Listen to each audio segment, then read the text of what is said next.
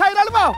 มาแล้วมาแล้วเฮ้ยเจ๋งเจ๋งเจ๋งมาแล้วเฮ้ยเฮ้ยเฮ้ยมาแล้วเว้ยผมว่ามันเต้นมามันต้องมีปูม้าตัวอวบๆเลยกุ้งตัวเท่าแขนเนี่ยพอผมตกปลาหมึกได้เท่านั้นแหละวินาทีนั้นผมรู้เลยว่าแบบเฮ้ยกูไม่ต้องแต่งงานก็ได้นี่หว่าทำไมอะเราแค่แบบหยิบปลาหมึกมารูปแล้วก็แบบที่รักที่รักเดี๋ยวนี้คุณได้บทเด่นเยอะนะ ถ้าปีนี้เป็นฮอลลีวูดเนี่ยคุณกำลังได้บทนำเยอะนะ ดาราแบบตัวประกอบตอนนี้เริ่มมีบทบ้างแล้วตอนนี้บทคุณนำนะทหารที่โดนยิงตรงข้างซ้าย ไม่พ้น เจ็บเหลือเกิน พ่อค้าปลาหมึกที่ถูกหวย โอ้ ที่รัก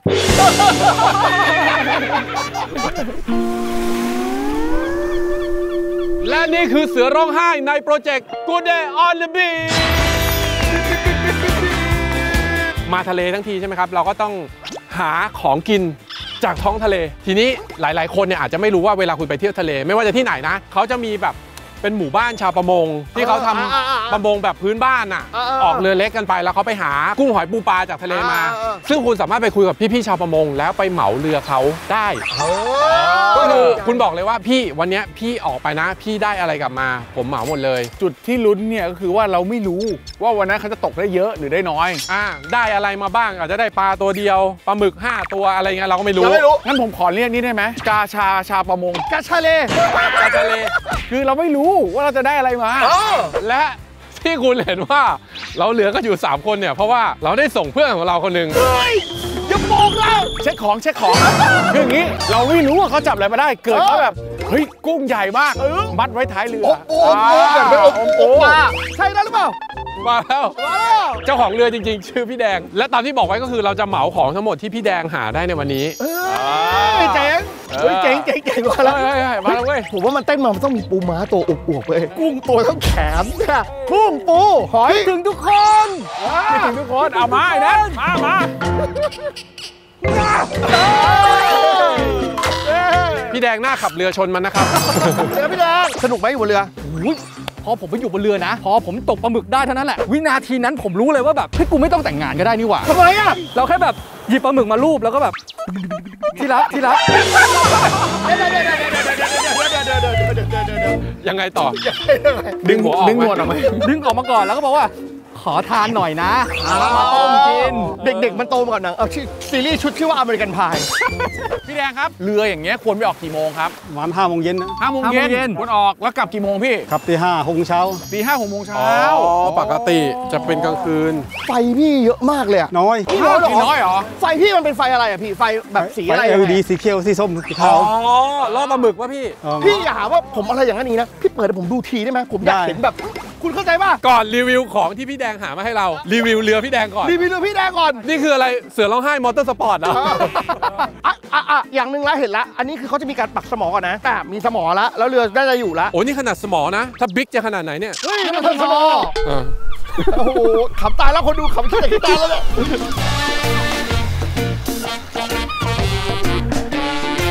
เอาละครับคุณผู้ชมครับสำหรับปี 2021 นี้นะครับ มีหลาย ๆ ท่านที่รอคอยเอ่อ ยานพาหนะตัวใหม่ที่จะออกมาในปีนี้นะครับอ่าอ่าใช่ใช่สำหรับเอ่อยานพาหนะที่เรากำลังจะพูดถึงนะครับ มาจากค่ายของโอ้ค่ายเขียวนี่ค่ายเขียวอันนี้ค่ายไข่เขียวเขียวอ๋อนี่คือไฟสีเขียวเหรอ มันเขียวของมันเองอยู่แล้วใช่ไหมพี่ ซื้อมาเป็นสีเขียวอยู่แล้ว จะเห็นว่าเครื่องยนต์เนี่ยมีด้วยกัน 2 เครื่อง เครื่องหนึ่งเนี่ยจะเป็นเครื่องที่ใช้สำหรับการขับเคลื่อน ตัวนั้นเนี่ย 125 แรงโลมานะครับโลมาส่วนโอเคตัวที่ถัดมาที่อยู่ตรงกลางเครื่องเนี่ยนะครับ ก็จะเป็นตัวที่มีกำลังเท่า ๆกันนะครับ 125 แรงโลมาเหมือนกัน แต่เอาไว้สำหรับปั่นไฟ อ๋อพอปั่นปลายไฟมันก็จะค่อยๆ ติดขึ้นติดขึ้น เรารีวิวไฟเสร็จแล้วนัตตี้ขึ้นไปรีวิวบนเรือหน่อยส่วนต่อไปวันนี้นะครับคือคือเครื่องเก็บสัมภาระของเรานะฮะเอ่อ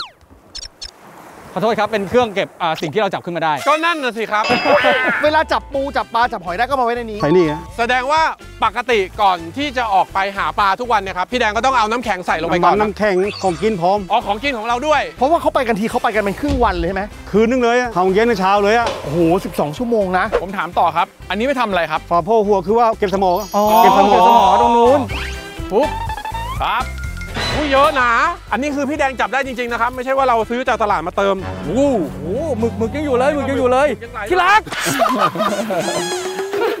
ปลาหมึกก็ตัวเล็กเหมือนกันนะกำลังดีกำลังเหมาะ อันนี้หมึกอะไรอะ มันคือหมึกอะไรครับกล้วยอะอ๋อหมึกกล้วยหมึกกล้วยอะแล้วอันนี้ปลาอะไรครับพี่ปลาสีกุลอ๋อสีกุลสีกุลส่วนตรงนี้สีกุลบ้อง สีกุลบ้อง อ่าสีกุลบ้อง อย่างนี้กินยังไงจ๊ะปลาสองตัวเนี้ยอันนี้ไปไปทอดไปย่างได้หมดเลยแกงส้มก็ได้ แล้วก็ทอดราดพริกก็ได้อย่างปลาหมึกอย่างเงี้ยครับพี่ประมาณกี่บาทครับถุงนี้ปลาหมึกนี่สองกิโลสี่ร้อย2กิโล400แล้วปลาสีกุลนี่แหละครับพี่ปลาสีกุลนี่ไม่รู้ว่ากิโลนะนะแต่โลสามสิบบาทนะโลสามสิบบาทผมว่าประมาณ 3 โลได้ก็ประมาณร้อยหนึ่งสีกุลบ้อง อันนี้ประมาณ 2 โล อันนี้โลห้าสิบนะโลละ 50 อันนี้ก็ร้อยหนึ่งหมดนี่รวมๆประมาณ 500 บาท อ่าถ้าไปซื้อนะคุณไปซื้อได้มา500 ขอบคุณนะพี่นะ ขอบคุณนะครับพี่ขอบคุณนะพี่พี่เฮ้ยวันหลังเราออกไปตกกันเองเลยไหม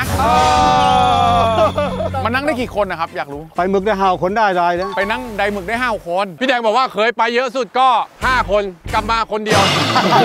มาทดลองเยาเหรอเจอกันพี่ ขอบคุณนะครับสวัสดีขอบคุณครับ คุณผู้ดูจะสังเกตได้ว่าตอนนี้แสง drop จากเมื่อกี้ไปเยอะ ใช่ เพราะว่าพี่ๆที่เขาดูแลที่นี่เขาช่วยเตรียมปลาหมึกให้ใช่เตรียมปลาให้ เดี๋ยวหลังจากนี้ไปอะเราจะไปย่างกินกัน โดยที่จะมีคนดูแลให้เราว่าเป็นยังไง แต่อันเนี้ยผมอยากแค่ถ่ายว่าเฮ้ยของที่จับมาสดๆมาย่างกินมันเป็นยังไง ออกตัวนะครับไม่ได้รู้วิธีการทำอาหารแบบ แบบบาสิกุลอะแต่ผมแอบไปดูข้อมูลทางอินเทอร์เน็ตมาเขาบอกว่าวิธีการย่างจริงๆเนี่ยคุณควรจะมีใบตองโรยเกลือแล้วย่าง แต่วันเนี้ยผมอยากแค่ให้พวกเราชิมว่าไอการจับมาสดๆรสชาติเป็นยังไงงั้นเริ่มจากนี้ก่อน